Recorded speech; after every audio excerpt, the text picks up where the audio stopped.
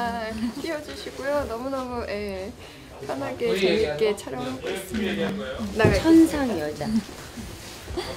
천상 여자고 참 이렇게 뭐랄까 비밀스러운 다, 다색을 가진 연기자라고 할까? 어, 그래서 앞으로 굉장히 기대가 되는 그런 배우입니다.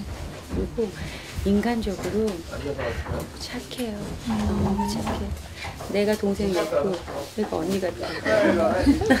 네가 언니 해라. 며느리감으로 아주 최고예요, 최고. 최고입니다. 지금 제가 부리는 유세가 어떤 유세인지 아십니까? 바로 아들을 낳은 유세입니다.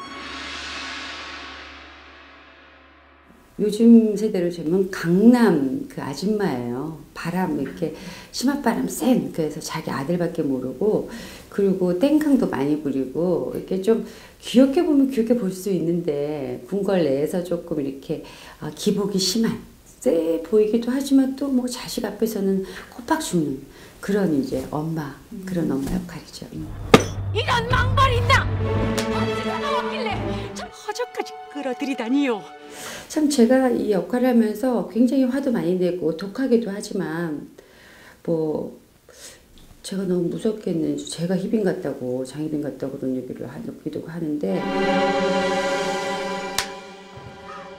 어찌 감히 원삼을 입어? 이런 요망한 년 어찌 감히 주상을 오라가는 요상이야? 장옥정 앞에서는 얼음장같이 무서웠던 데뷔마마. 하지만 그동안 강령하셨으니까 데뷔마마. 덕분에요. 인연이 들어오면 발음을 잘해야 돼요. 인현이 들어오면 어차피 내 쪽에 사람이 한 명 더 들어오는 거잖아요.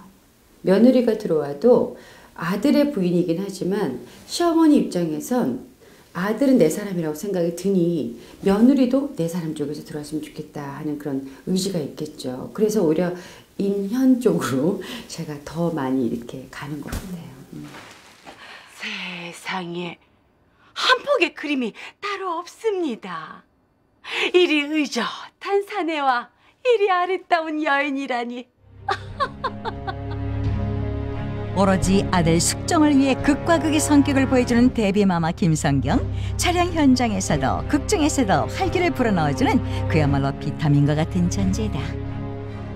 권력은 그것을 주무를 줄 아는 자가 가지는 것입니다. 숙중 유아인의 반대편에 서서 극의 긴장감을 더해주는 민유중 이효장. 서인 세력의 핵심에 서 있는 민유중. 그걸 지금 말이라고 하는 겐가? 쉬 말하자면 제가 머리라면 중전께서 몸통이신 게지요. 그래도 쳐야겠다면 치십시오. 권력의 핵심에 서서 숙중의 권력이 커진 것을 방해했던 서인의 거두 민유중 이효장. 효종, 현종 또한 금상 3대 수십 년을 조정해서 잔뼈가 굵었습니다. 앞으로도 그리 호락호락 당하진 않을 겝니다.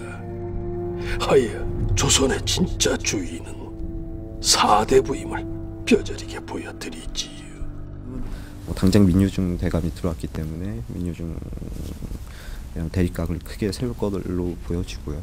그리고 또 시청자분들이 은근히 그런 정치적인 부분들에 많이 흥미를 가져 주시더라고요. 이제 뭐 저랑 민유중 대감이 대립하는 모습이라거나 뭐 반정 사건이나 뭐 그런 것들이 있어서 뭐 그런 것도 가볍지 않게 그래도 심도 있게 무겁게 다뤄질 것 같아요.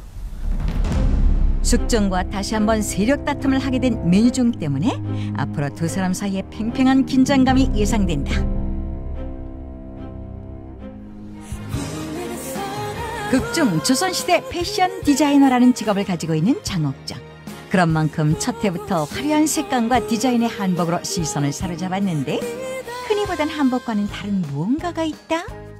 사극에 나왔던 한복을 저희가 지금 보면 디자인보다는 칼라를 많이 썼던 것 같아요. 그리고 약간의 과한 디자인에 조금 조심스러웠던 것 같아요. 근데 저희는 이번에 좀 디자인 위주로 많이 신경을 썼어요. 그래서 색감보다는 자수와 디자인을 좀 과하게. 화려하지만 과하지 않은 디자인으로 극중 장옥정 김태희를 한층 더 살려줬는데. 이번 드라마에서 가장 신경 쓴 거는 아무래도 그 친구가 패션 디자이너로 나오기 때문에